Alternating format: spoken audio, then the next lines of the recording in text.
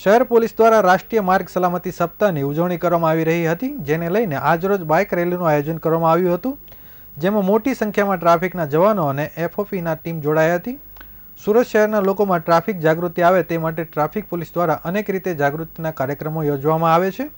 જ્યારે શહેર પોલીસ દ્વારા રાષ્ટ્રીય માર્ગ સલામતી સપ્તાહની ઉજવણી કરવામાં આવી રહી હતી, જે ઇન્ચાર્જ પોલીસ કમિશનર વબાંગ જમીરની ઉપસ્થિતિમાં આજે બાઇક રેલીનું આયોજન કરી સમાપન કરવામાં આવ્યું હતું. આ રેલી પોલીસ હેડક્વાર્ટરથી વાય જંકશન ફરી અઠવાલાઇન્સ ખાતે બાઇક રેલીનું સમાપન કરવામાં આવ્યું હતું. આ રેલીમાં ડીસીપી, એસીપી, પીઆઈ, પીએસઆઈ સહિતનો પોલીસ સ્ટાફ રેલીમાં જોડાયો હતો.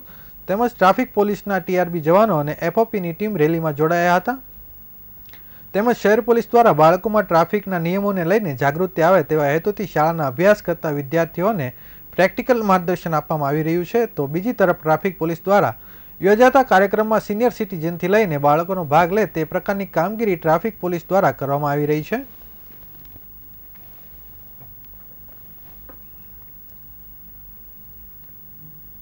સમગ્ર ભારતમાં પંદર જાન્યુઆરીથી ચૌદ ફેબ્રુઆરી ટુ ફોરના સમયગાળા દરમિયાન સરકારશ્રીના ministry of road transport and highway દ્વારા આ રોડ ટ્રાન્સપોર્ટ સેફટી વીક આયોજન કરવામાં આવે છે. અને આ સેફટી મંથના ભાગરૂપે સિટીના અલગ અલગ પ્રકારની જે કાર્યવાહી ટ્રાફિક શાખા તરફથી કરવામાં આવ્યું. અને આ આપણા પોલીસ ડિપાર્ટમેન્ટમાં આમ માનવામાં આવે છે કે જે એજ્યુકેશન છે, આ ટ્રાફિકના અમલીકરણના સૌથી મહત્વનો ભાગરૂપ છે. અને આ એજ્યુકેશન અને અવેરનેસ પબ્લિક અને ખાસ કરીને સ્કૂલ્સ અને કોલેજીસના જે વિદ્યાર્થીઓ છે, એમને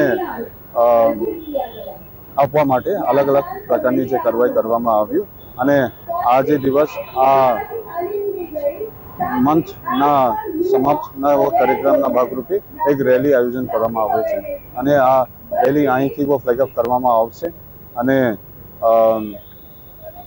આનાથી આના પ્રત્યે પબ્લિકમાં અવેરનેસ વધારા થાય અને રોડના જે એક્સિડન્ટ થાય, આ એક્સિડન્ટ ઘટાડો થાય તે હેતુથી આ તમામ કાર્યવાહીની આયોજન કરવામાં આવે છે.